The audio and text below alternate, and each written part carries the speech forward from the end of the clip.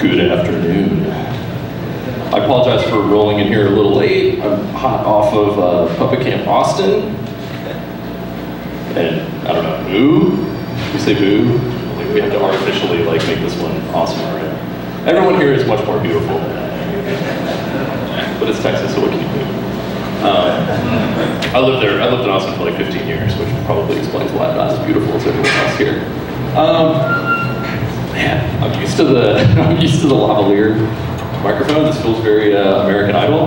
Um, I've only got a couple of dance moves. I, I, I could do the, uh, the reach for the stars, the digging for gold, and maybe like just bring it home. That's all I got. All right, so that's me. Um, I'm based out of Denver. I think I'm one of the two or three Puppet Labs employees based out of Denver. Um, but as Mike mentioned, I, uh, I manage Puppet Labs engineering and I'm sort of a head of architecture there. Uh, so if you've been on IRC or on the mailing list or anything like that, I'm, I'm grim_radical on there.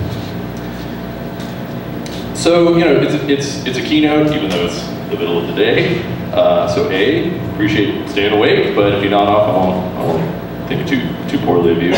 Um, but, you know, the purpose of a keynote, I figure, is to do a couple of things. Number one is we want to make some, you know, broad, sweeping, uh, erroneous predictions about how things are going to work. Uh, and you sort of want to set the stage for things and, and plant seeds so that people have stuff to actually talk about and kind of anchor the rest of the stuff. So a, a lot of this isn't going to be mega puppet specific. I mean, so there's going to be a lot of stuff maybe about sort of IT in general, automation in general. Um, so maybe that'll be a welcome change of pace. Um, and then we'll kind of get into sort of like, okay, well, how does Puppet address some of these problems? Um, but maybe to help me level set, it's customary for us to start off all of these with the, the shaming slash showing of hands. Um, so who is using Puppet right now? Okay, so that's like 80% of people, all right? Uh, who is using uh, another automation tool? Okay, so like 10, 20%, something like that. Um, who is using automation, but it's stuff that you wrote yourself or is homegrown? Okay, it's no shame. Uh, it's a friendly place, it's no shame. Until you answer this question, which is who is not doing any automation, but is looking to? Okay, well, so that guy. Uh, it's cool, you're, you're in the right place. Everything, everything will be fine. And of the people that are, are using Puppet or that aren't using it at all, uh, how many of you would consider yourself sort of fairly new to it? Okay, so about, about half. So that, that kind of that kind of makes sense. Um, it's interesting because I think this is a very different kind of demographic than relative to maybe two years ago. I've been working with uh, I've been working at Puppet Labs for about four years, and prior to that, I ran Puppet uh, for a pretty long time and was a contributor to a bunch of stuff. I have a bunch of patches in there. Um, and I think you asked two years ago, it was definitely, I think things were very much skewed towards the, yep, automation, doing it forever, been using this stuff forever, pretty skilled practitioner. And I think it's interesting, I actually really like it that we're now starting to expand into kind of spheres of influence that, you know, automation is new or you haven't been doing it for as long, and a lot of people are trying to figure out just how to bring some of the existing practices they have kind of into this new universe where all, there are a lot more demands on time and automation becomes a lot more necessary. So, uh, this statement will hopefully not be controversial to anyone, but I would say that there is a lot going on in the universe of sort of IT and operations in general, right? Like, uh, I think there's an increasingly large number of problems that need to be solved. I think usually the problems that need to be solved are of increasing sophistication, usually because if it's a security issue, it's a more sophisticated attack. If it's a system that you need to provision, usually involves more, more servers. If it's an application that you need to deploy, it usually involves cooperation between a wider variety of systems than maybe software stacks that you've had to deploy in the past. None of this shit gets any easier, um, which on the one hand keeps a lot of us getting fully employed, but on the other hand is somewhat terrifying, right? And I think you combine that with sort of new technologies, new methodologies that people are trying to adopt, and it, you know, it's, it's very easy to, it's very easy to become overwhelmed. So, you know, so what in the world is, you know, a sysadmin supposed to do? This is documentary footage of a systems administrator. Uh, it's black and white, that's how you know it's, that's how you know it's true.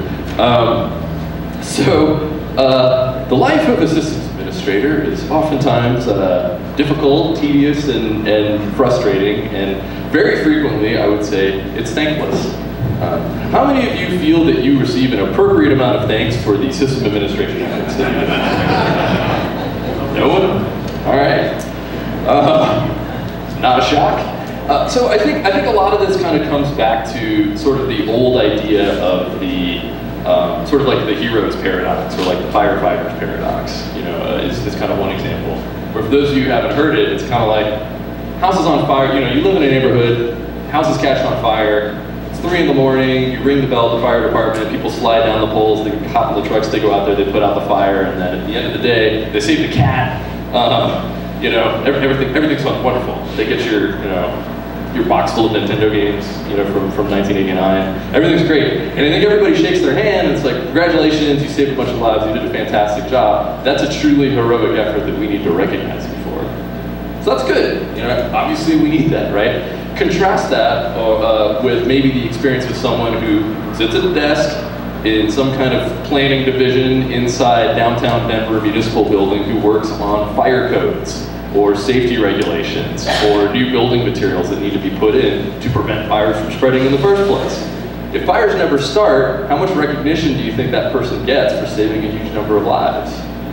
Now that isn't to say that one group of people is more important than the other, right? Obviously they're both extremely important. But I think a lot of times in IT we've kind of gotten into this mode where you look at someone, you, you know, you're on a team with someone, and it's like, oh man, this, this person, they, get, they wake up at two in the morning, they get paged, they come in, they log on, they restart the service, and then they go back to sleep, and then you come to work on Monday, and it's like, that, that was wonderful. You came in on a weekend, you fixed this thing, that was great. And compare that, I would say maybe that's Goofus, compare that to Gallant, sort of like, eh, I just wrote something that, you know, I deployed the service in such a way that that would never happen.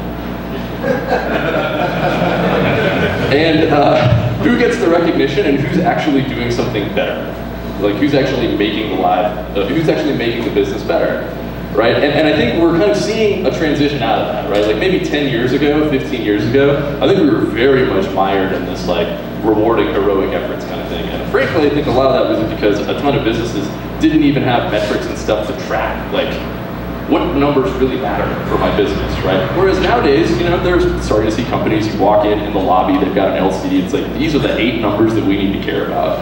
So if you were working in a company where you cared about uptime, suddenly maybe you wouldn't be rewarding the person that wakes up at three in the morning to restart a bunch of stuff after it's been down for hours, right? You'd be rewarding the person who actually designed a system that has higher uptime. So I think that's just one example of a cultural shift that, that's, that's happening. So an interesting thing is that I think that even that said, I do think that now, because of increasing demands that are placed on operations personnel, like I think many of us are constantly in a state of reaction to what's going on. You know, we're always reacting to tickets, we're reacting to changes in the environment, changes to infrastructure, new features that need to be deployed, new software that needs to be put out there, new security threats that need to be patched. So at this point, it's kind of interesting. It's 2015, we've actually hit the point where system administration has been going on for long enough that the scientists get involved and they're able to start doing studies and compute numbers and statistics about our jobs.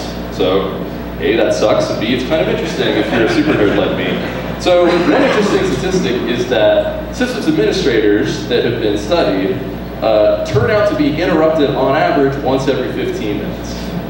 How many feel that that describes, you know? Okay. How many people think 15 minutes is too conservative? Okay, there you go. Um, now what's interesting is the corollary to that is when they track system performance, they find out that after they're interrupted, it usually takes 30 minutes to get back into the zone. So that's pretty shitty. if you do the math, that basically means that you are never going to get back into a state where you can actually sort of free up your brain to think about higher level things that you're supposed to be thinking about, right? Um, so that, I mean, that, that, that's a tough spot to be in. Um, and I think that combined with their continual pressure to want to do more stuff, do it faster, do it for less money and with fewer errors, you know, I mean, it basically leaves a lot of us in positions where, you know, we weren't hired, most of us probably were not hired to literally eight hours a day, you punch in and then we're just changing passwords on systems, eight hours a day, and then you punch out and then you go home.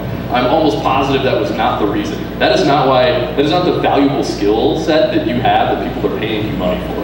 That may be what you do, But I don't think that's the most value the company is getting out of it. If you could automate that problem away, that's time you could spend during your day actually thinking about like, ah, maybe this software is kind of a piece of junk and should be deployed a totally different way. Maybe our network sucks, and if we rejiggered this whole thing, that would make our lives a whole lot easier. These are things you don't get to think about if all you're doing is changing passwords all day. And which one is more valuable to the business? So, you know, I think, I think it's worth thinking about. I think another interesting change that's happened in the past, you know, maybe decade or something like that. I mean, um, for those of you who, like me, are are, are old, um, we hired a lot, I hire a lot of engineers, and a lot of them that came in recently are like 22. And let's think I'm the freaking crypt keeper. Um, and then I realized, like, even a reference to the crypt keeper wouldn't make any sense. So, details from the crypt. Uh, yeah. So for those of you who were around in sort of like the late 90s, early 2000s, sort of in the industry, there was this movement where people wanted to outsource everything. Because, you know, people thought, ah, you know what, I don't really care about technology because I'm a pet store or I sell furniture or I do insurance. So why don't I just give that to people who just work on software all day and they'll just make that problem go away from me.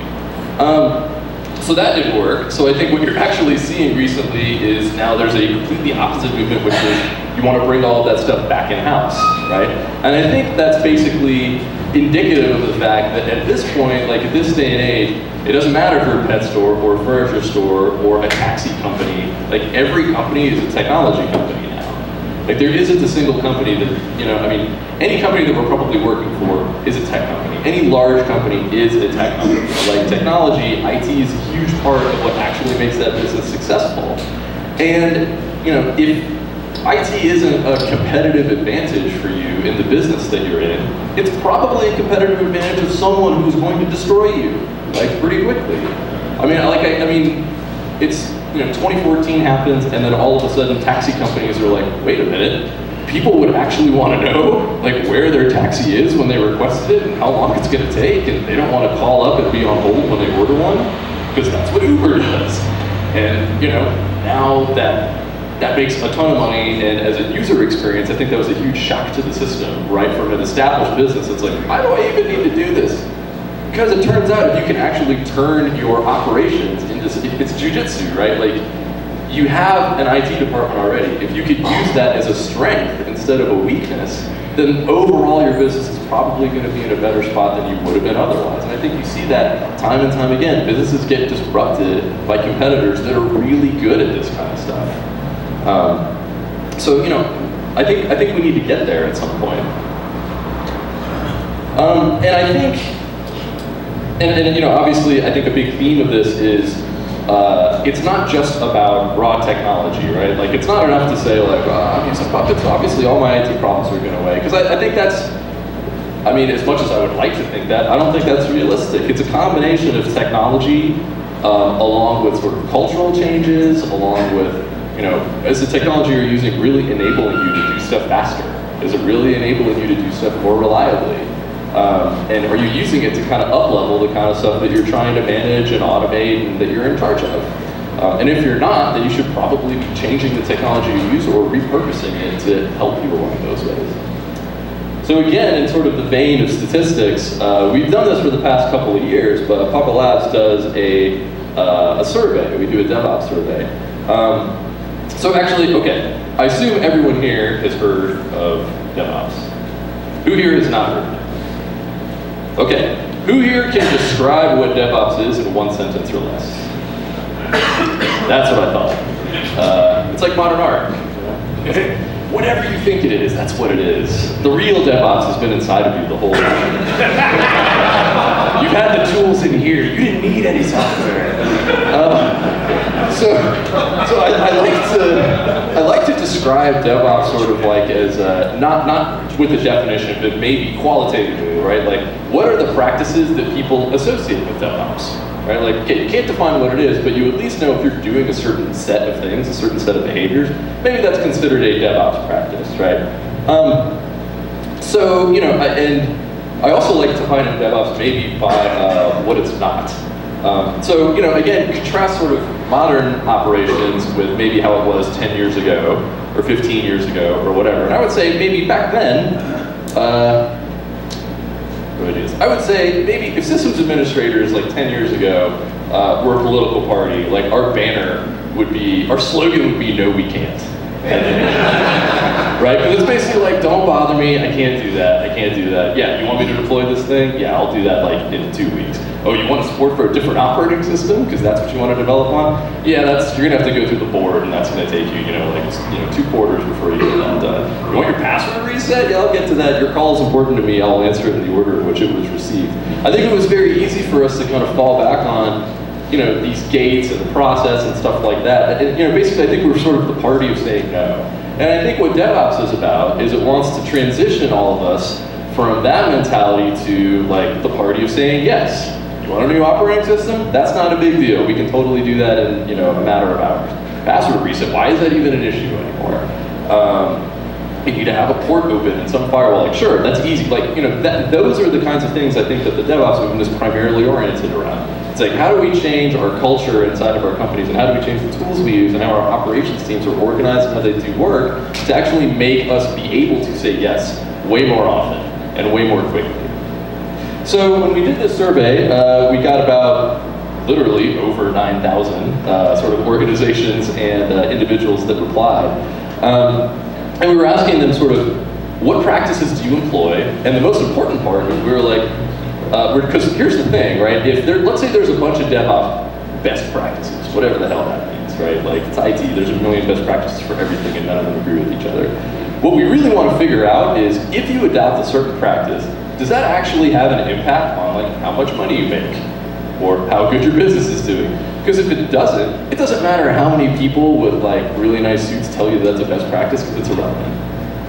Right? This industry is very fashion oriented, right? So ultimately, if you can't prove that something you're doing is actually useful, why are we wasting our time doing it? Um, now the interesting thing though is I think a lot of the results we got back confirmed a lot of stuff that I don't think was at least statistically verifiable before, um, but are things that many of us had suspected. Um, so a couple of things I wanted to call out. I think number one was basically companies that have strong IT departments, they, they, have high, they consider themselves having high performing IT departments, that turns out to be a competitive advantage, literally.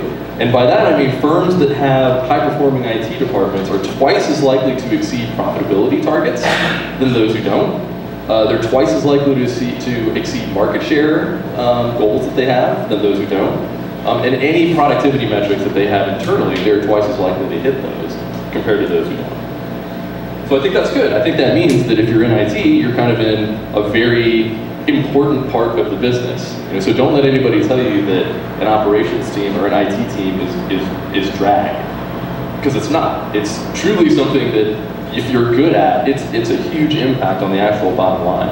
I think the next thing that came out of it was, again, probably reinforcing of stuff that people already know, which is that DevOps practices tend to improve the performance of an IT department. So IT, IT department is performing better, great for the business. The more DevOpsy things that you do, your IT department tends to perform better.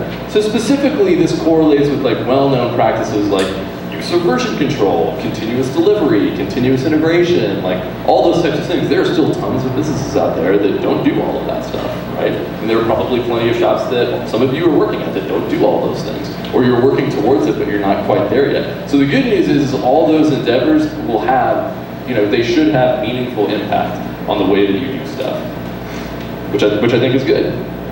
Um, next one is that uh, organizational culture actually matters. Not just IT culture, but the culture of the whole organization. Um, and it turned out that this was one of the strongest predictors of IT performance and the performance of the overall company. Which I guess makes sense, right? Like how many of you work in an environment currently where there are things you want to do as an operations person, but there are other parts of the organization that stand in the way?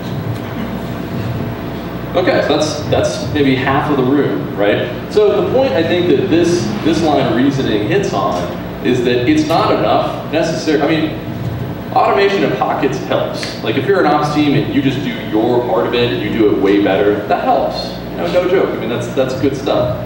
But I think you're going to quickly become limited. You know, it's like a local maxima, right? But you want to globally optimize the whole business. In order to get from that peak to one that's genuinely higher, I think you kind of need to have buy-in from larger parts of the organization that A focus on automation is better. Maybe you need to break up a lot of the silos that used to be there. You know, I mean, you would previously see things like you know, in the past, you have a team of people that manage an app, and a team of people that manage the base operating system, and a team of people that manage ports in a firewall, and a team of people that do this, which means if I want to deploy a new application, I now suddenly need to coordinate like 18 different groups of people, get so many checks, you know, signed off, and all that kind of stuff, which you know, I think is fine, and those all serve probably reasonable purposes. But organizationally, if you really believe that you need to streamline that whole process, then that really means maybe you need to break apart some of those structures. Maybe you need to put some of those people together on the same team so you can make decisions more quickly. Or people don't feel like they're working against each other and antagonizing each other. Like, I'm a security guy, of course I'm gonna say no. I'm gonna say no to everything you know, because if I say no to everything, I'm probably not going to have any more vulnerabilities to letting people deploy new stuff. But that's not the way a business should work. You should feel empowered to deploy new things and do it in a secure way. It should be about collaboration and not like putting the brakes on a bunch of stuff. So lastly, and I thought this was really fascinating, was all that other stuff said, all that other impact on the business said, the thing that had the number one biggest impact on how a business would perform is job satisfaction, self-reported job satisfaction people. Which makes a ton of sense, because if you hate your job, you are probably not going to excel at it. And Who wants to work at a place that sucks, right? And I think when people were asked sort of what are the key things that relate to job satisfaction, you know, they say things that in retrospect when I read them, I'm like, yeah, that's common sense, but it's basically I want to have a lot of responsibility, but I also want to have a lot of autonomy to make decisions. I need to have decision-making power so I can actually do stuff that I want to do. I want people to trust that I'm doing the right thing, and I want to have the ability to do these kinds of things. And what are the types of organizations that make that kind of stuff possible? Like what are the types of organizations that give operations personnel autonomy and responsibility and freedom to do a lot of these things? They're the businesses that have all the automation in place to make sure you can do that in a safe way, in a structured way, in a way that's empowering to people. And then what are the companies that don't do that? That's sort of the stodgy company, the IT departments of yesteryear. I mean, it's 2015, and if you're still doing stuff the way that you were doing it 10 or 15 years ago, and you're in the business of telling all of your ops personnel, like, you can't do that, or that's impossible, or that's gonna take 18 months for us to get that approved. How empowering is that, you know, to any of your sysadmins? Like, that kind of sucks. So, you know, the future is moving more towards like giving people the responsibility and autonomy to do the things they want and making sure that we have all the structure and tech in place under the hood to make that not a total disaster. So with great power comes great responsibility. Um, it can't be a keynote on anything if you don't talk about cloud. Uh, I highly recommend, by the way, the, uh, the Cloud to Butt plugin uh, for whatever browser you use. Uh, for Firefox or Chrome, uh, it literally replaces every every instance of the word cloud on a web page with the word butt, uh, which is pretty great. Except if you've had it on for a really long time, and then you go to a web browser that doesn't have it, you're like, whoa, what is all this? This is not really as hilarious anymore. Um, TechCrunch becomes way more boring to read. Uh, so, um, again, sort of snapshot from 10, 15 years ago to now, obviously, um, cloud infrastructure has put a, very different, it, it's thrown a wrench, I think, to a lot of ways that people used to think about stuff.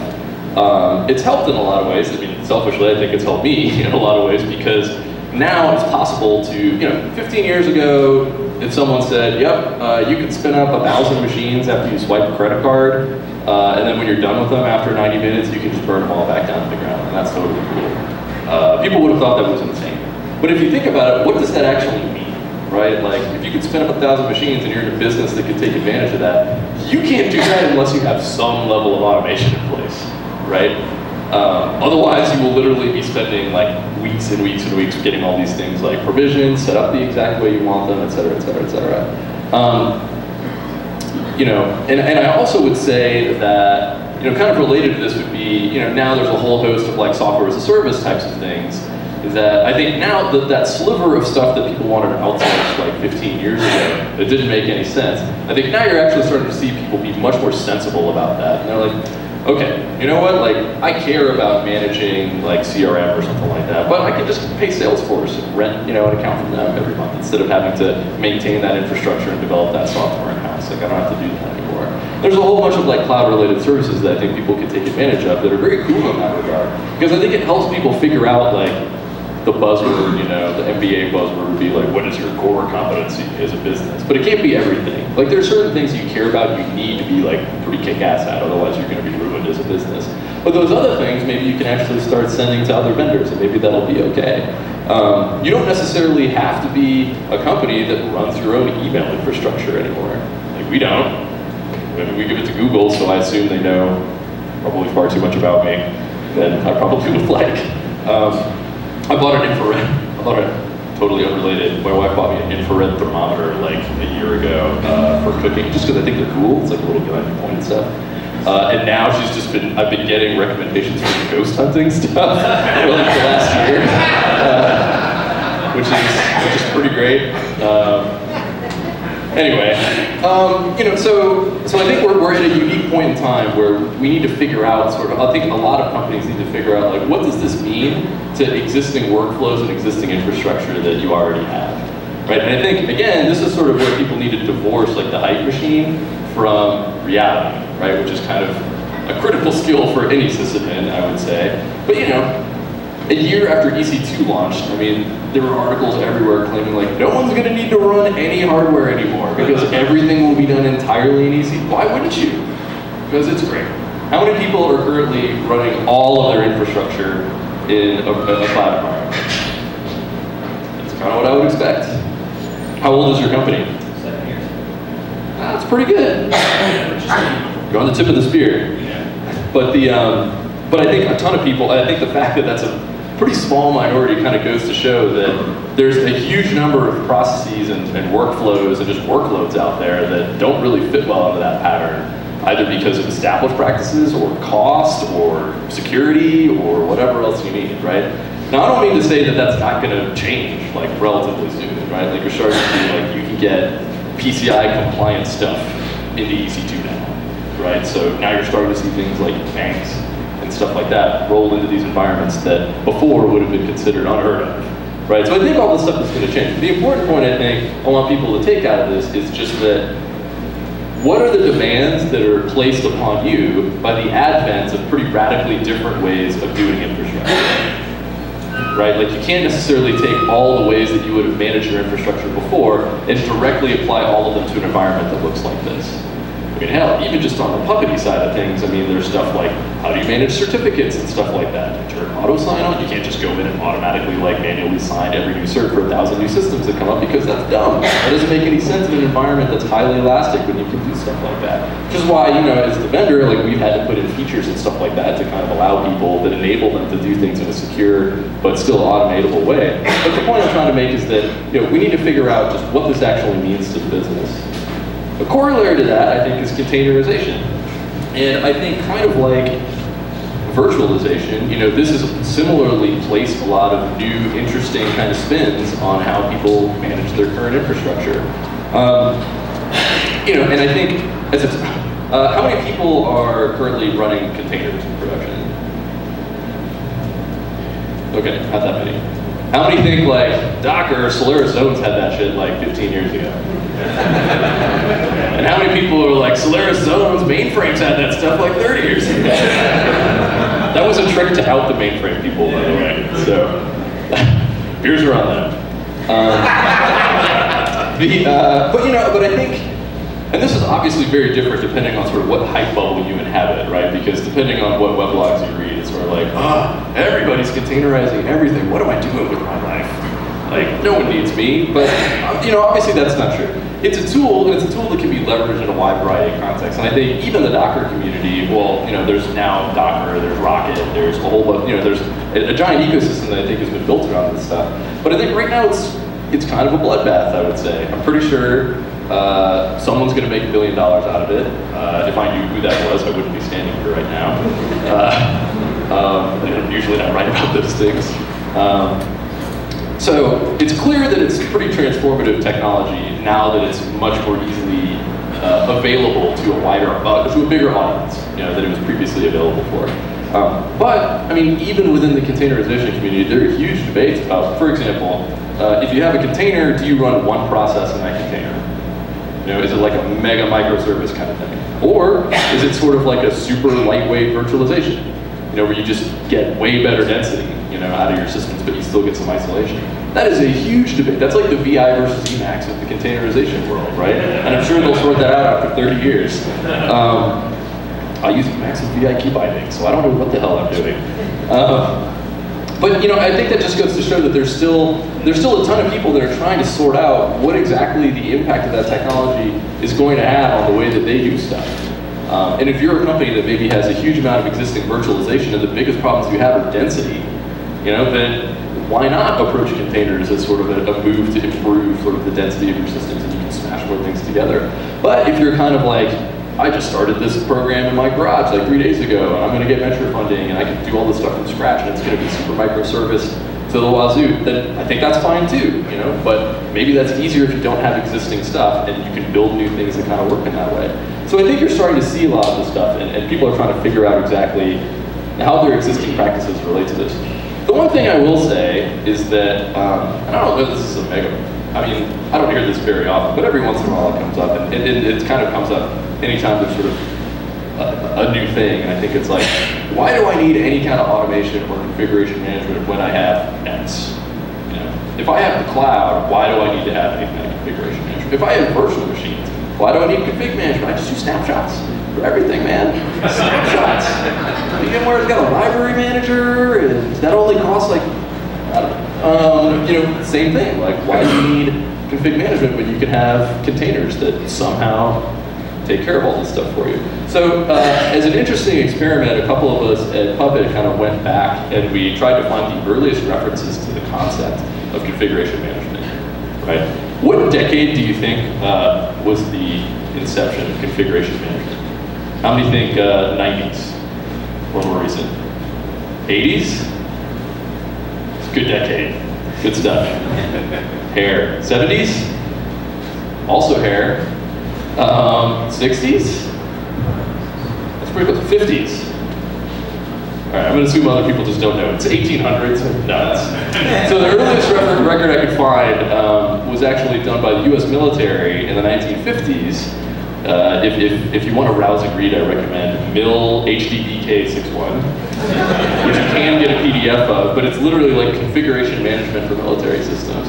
And what are they, and this is in the 50s, so what they're talking about isn't even computers. They're talking about like consoles with a zillion buttons on them that will launch missiles and do whatever kinds of stuff you need to do. But they talk about the characteristics of configuration management and what's important. And here's what they say. They say, number one, you need to be able to inventory what you have so you know what's out there and you know what you need to manage. Number two, you need to have some control over how you make changes to those things because you don't want some random person going in and flipping a bunch of switches and then leaving them that way.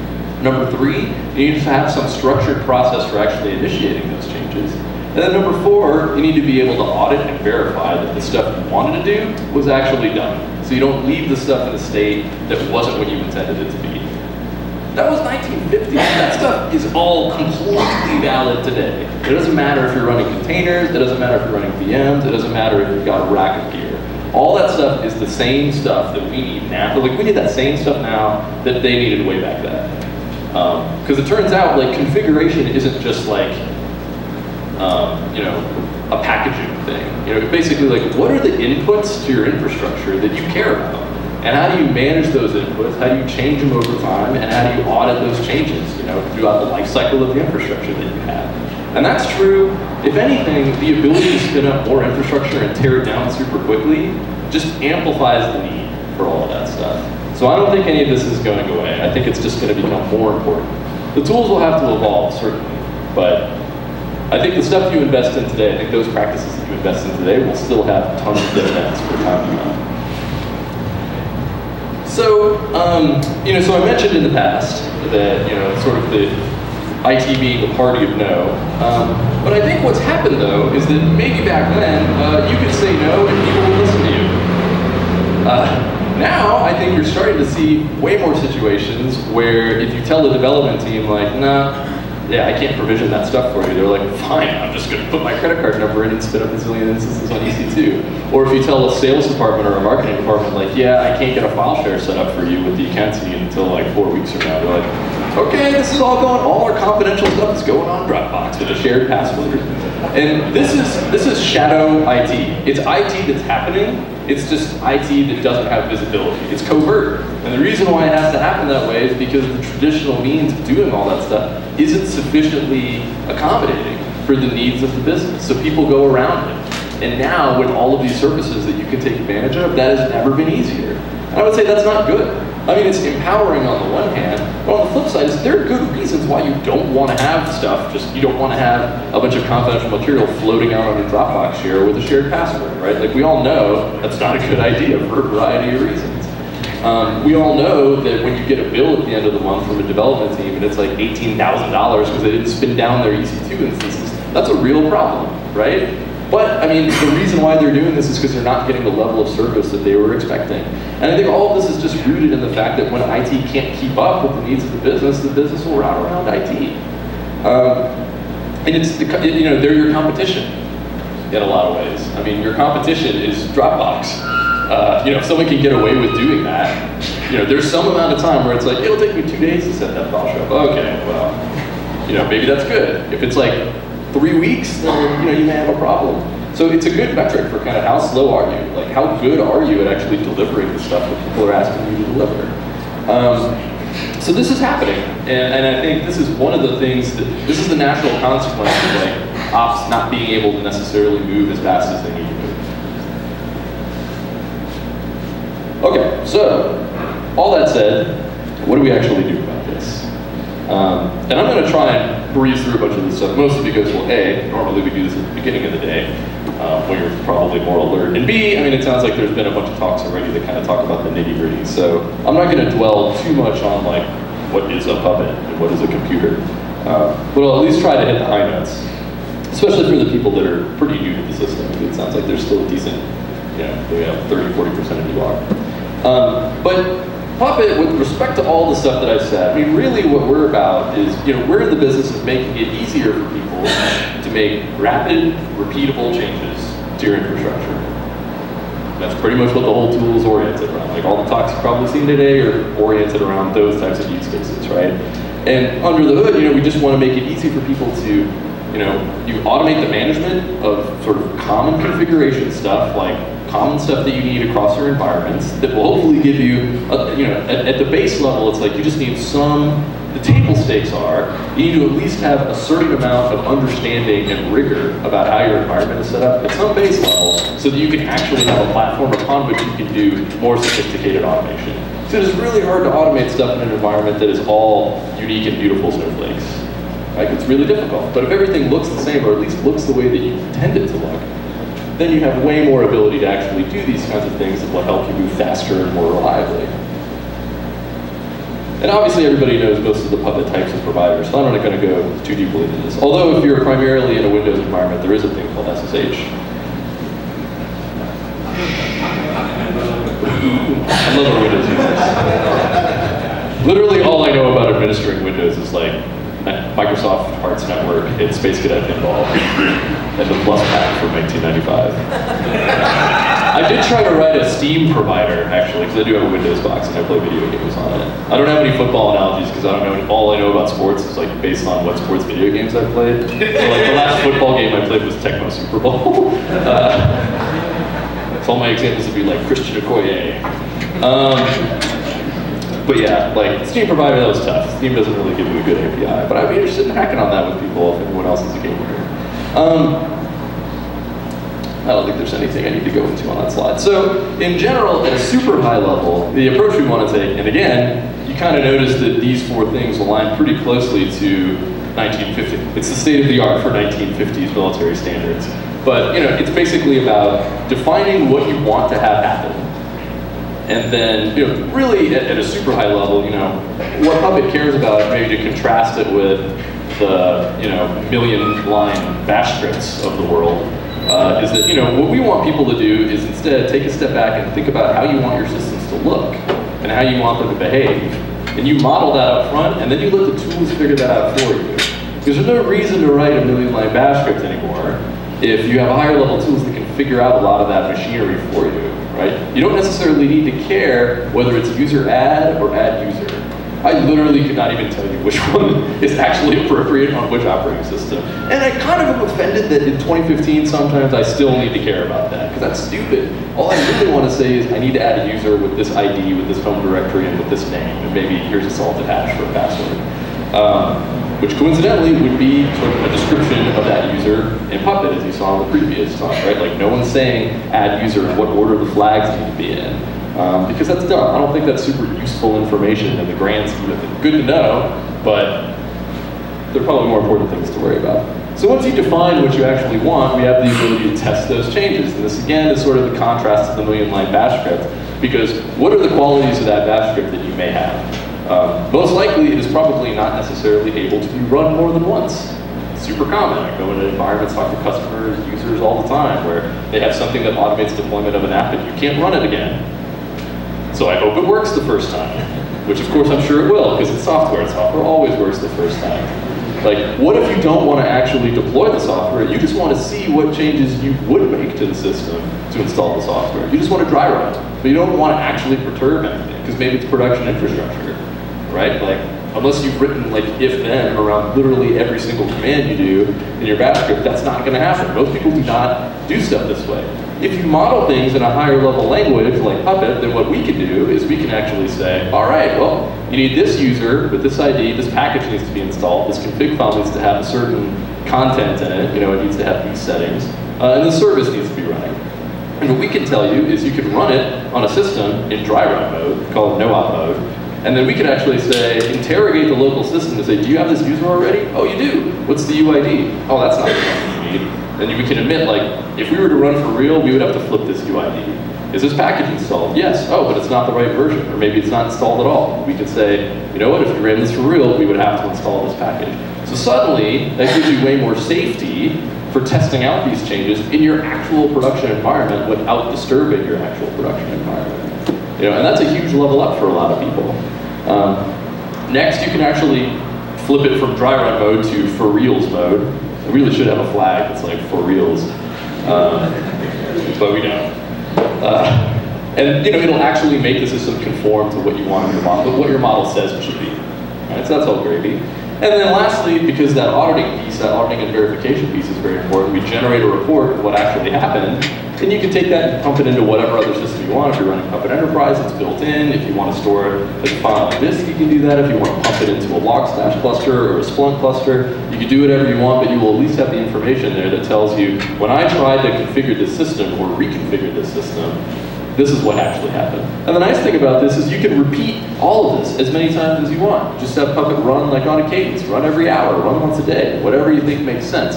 And effectively what that, what that gives you is it's kind of like an immune system for your infrastructure. You have all these models that define what you want stuff to look like, and you have this toolkit, you have this immune system just making sure in the background that the systems that you own always look the way that you want them to look. And you don't have to worry about it because it's automation that takes care of this stuff for you. So I think that's very powerful.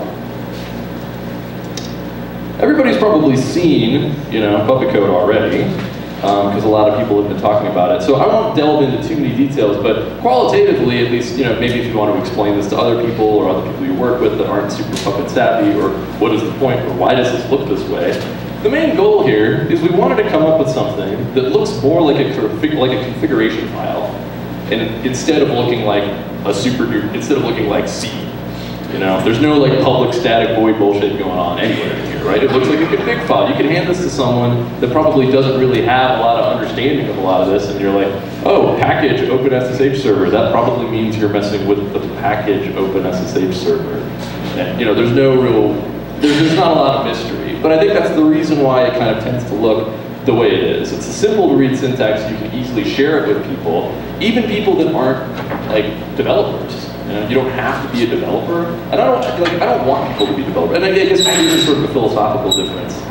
You know, I'll get on the soapbox a little bit, but I think this is kind of a philosophical difference that, you know, maybe as an engineer at Puppet, I think that we have relative to a lot of other tools, which is there's definitely a power continuum, for sure, no joke.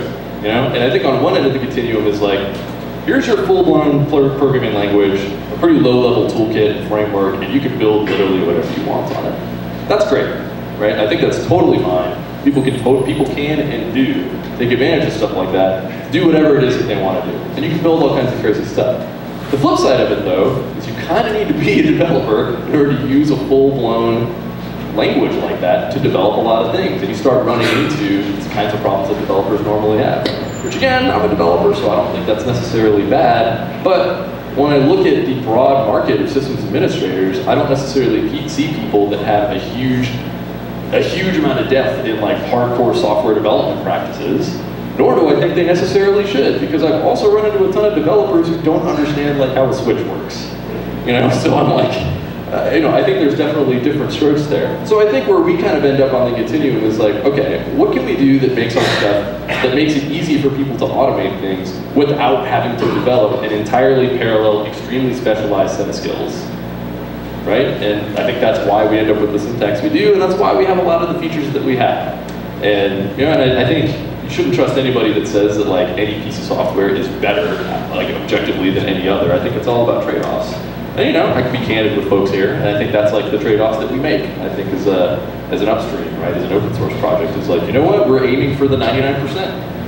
And I think you can do a whole lot, and there are a ton of hooks available. There's a ton of customizations if you want to go into that. Like you can of course write like Ruby plugins and things like that. But certainly, as someone in charge of engineering for Puppet, I view the future of Puppet not being in requiring that people know a sophisticated language in order to extend the system to automate what they need to do. I think the future of Puppet is more about letting people write plugins in whatever language they want. And that could be that could be Python, that could be Perl, that could be whatever. Because I'm too old to get into a debate about what language you need to use that makes you better than someone that's using something different. If Wikipedia and Facebook can be written in PHP, I'm pretty sure you can build anything out of anything. Um, and it's kind of it's a tired argument. You know? So anyway, I'll just I'll leave you with that. Uh,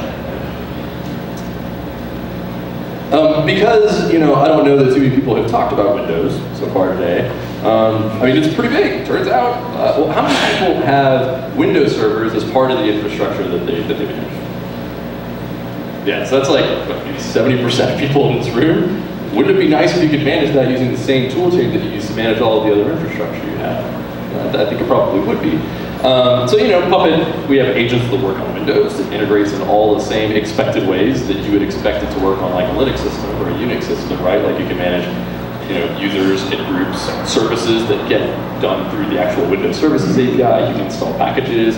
You can enable or disable Windows features, the kind of stuff that you do through a control panel. We have structured support inside of resource types for rebooting a system after certain packages are installed. You obviously don't want to do that halfway through a Puppet run. You want to like batch those things up and maybe do it in a structured way, compliant with whatever maintenance windows you have. So all that stuff is in there, and I think it's good. And they only pop this up to just demonstrate to people that you know it's not necessarily for the you know, for, for the Linux people in the universe. Like you don't have to be running like Arch Linux March 10, you know, 2015 in order to take advantage of this stuff. Like you're running, I think you do have to be on at least like 2003 server for Windows, but I don't know. I'm sure they'll end the life that when RHEL 4 gets into life, which I think is 2050 or something like that. Um, 4. I talked to a customer recently that was running a Red Hat, uh, Red Hat 5, not RHEL 5, but Red Hat 5 servers, uh, which I think I had some, and I got the DVD to, or the CD to install in the back of the book, like it runs available in like the late 90s. Um, good hardware. I should ask, them what gear they're running it on. It keeps running. Um, obviously, you don't have to do all of this stuff yourself. I think one of the big things that and I think we get some of this just architecturally, the way Puppet is built, it's kind of oriented in such a way that because it's got that sort of very high level config file looking syntax and you don't have a bunch of super complex, like mega nested, arbitrarily complicated logic, we kind of get a lot of benefits out of the box. Like most modules, it's not too difficult. I mean, obviously you can build them in such a way that's hyper specific to your infrastructure, but a lot of them are written in a way that's pretty easily shared to other users. And that's kind of one of the main goals I think we have is, you know, chances are whatever job you're in, whatever thing you need to automate, whatever software you need to deploy, you are probably not the only person on the planet that has to deploy that or that has deployed that, right? So why, why are we why are we spending our time, you know, doing all these things? I think maybe to touch on sort of you know, I think this is a place where I think, honestly, a lot of operations staff kind of lags behind a lot of development staff because I think the software development side of the universe has kind of jumped in on the reusable code and libraries bandwagon quite some time ago.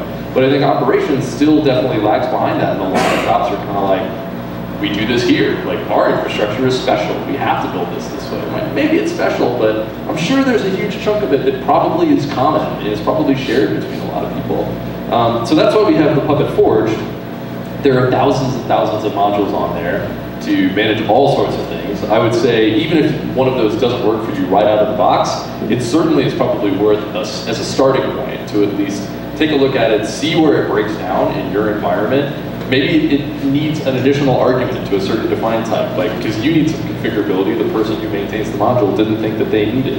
You could file a pull request for that. Get that put upstream, get a different community of people maintaining that for you. But it's less stuff that you necessarily have to maintain yourself because there's a community of other systems administrators out there, of other Puppet users out there that want to help and that are actively helping. Um, there are tons of pull requests that go into modules literally every minute. Um, people trying to do stuff and automate things better. So we should just all remember to take advantage of it. I'm not going to dwell on sort of the life cycle of a Puppet sort of check-in um, too deeply, but you know, really briefly under the hood, it's basically like, everyone here probably already knows this, but you have agents that live on all of your systems, and you know, we've got Windows, Linux, and we've got Unix, but I do want to mention that uh, it's interesting, um, I think our CEO and me and a couple of other folks, and he posted a tweet uh, where he had a bet, uh, where he said, I wonder if um, network admins or storage admins, which ones will go kind of DevOpsy first? And uh, who thinks it's storage people? Yeah, how many of you are storage people? That's it. Who thinks it's, who thinks it's network? Okay. I kind of feel that it's network if for no other reason than we've gotten way more traction with network vendors much more quickly than we have with storage vendors. But the long term is everybody wants it. People are like, why would you want to telnet into a switch and then run these like stupid bullshit commands from 1982 to like flip a port? That's dumb. Why can't you just, I mean, that's like the bash script of your that most admins in this room have realized like that's stupid. Like there are higher level tools for that. Why can't you model that stuff in Puppet and have that continuously checked? You know, why can't you say the manipulation of a port on a switch, you know, all my app servers need to make sure that they're added to a bin on a load balancer. Why do you need to go to the load balancer and manually add these systems? And why can't you make that part of the model of the Puppet code for your app? So that when it comes, ensure that I am in this bin. Puppet will check if it's in there. If it's not in there, it will add it. And then there you go. You're good. By virtue of bringing the systems up, you are now sort of in conformance. So, you know, it's the idea of being able to have a model that spans more of your infrastructure than, you know, just one operating system. You know, it's multiple operating systems and it's multiple devices and things like that. This is also coincidentally why for the eggheads, why, um, you know, if you follow the Puppet development list, like why we're moving towards porting most of our agent side stuff from being run in Ruby to basically like it can be compiled with GCC and stuff like that because that's the way that you can get it running on storage devices, network devices, your Raspberry Pi, um, that kind of stuff. Uh, so anyway, agent wakes up, collects some facts and metadata about itself, sends it to the master where you actually have all of your code available, where you describe how you want your systems to look. We compile the config for that system and we send it back. Another interesting distinction I would say between Puppet and maybe other tools that you're using or stuff that's homegrown is one thing to note is that um, the config we send back to each system is literally just the config necessary to configure that one system and nothing else. So sort of from a security standpoint, it's the principle of privilege, right? Like your app server may not need to have the configuration for what your database machine looks like. But a lot of tools where the way that you model your systems is just like, bam, here's a bunch of code. Uh, the only way you know what config applies to what system is by running all the code, which means you have to sync all that code to every system, which means if anybody breaks into any of your systems, they will have all the configuration information for everything on your infrastructure maybe not all of the key data values, but they'll at least know how all of your stuff is set up, which honestly in 2015 may be enough. I mean, hell, Redford sneakers could do a bunch of crazy shit, and that was like 15 years ago. Imagine what you could do now, right? Information. And then we send a report when we're done that, again, you know, you can sort of centralize and do stuff with. There are additional projects that work and cooperate with Puppet that kind of up-level what you can do. Um, PuppetDB is an example where basically we centralize and store all of those facts for all of your systems as well as every single model that you have that describes what you want all of your systems to look like, as well as every single report of every single Puppet run that you've done. So what that means is you instantly, just by standing it up and setting, you know, tweaking one setting on your Puppet Master, you end up with a database that has a complete inventory of all of your systems, and it has a complete record of what you want all your systems to actually look like, and it has a complete record of what actually happened when Puppet ran on those systems. How many, you know, how many systems do I have where the version of OpenSSH I'm managing is something that's partly vulnerable? You know, like there you go. You've got it all. You don't have to run anything fancy. You have all that stuff kind of done. How many Windows systems do I have? How many Linux systems do I have? All that stuff you kind of get for free. Again, because by doing the work of modeling that stuff up front, this is an example of where that power can be extended out to do something much more useful. We have a companion project called MCollective, which does, it's sort of a messaging fabric that allows you to do ad hoc commands.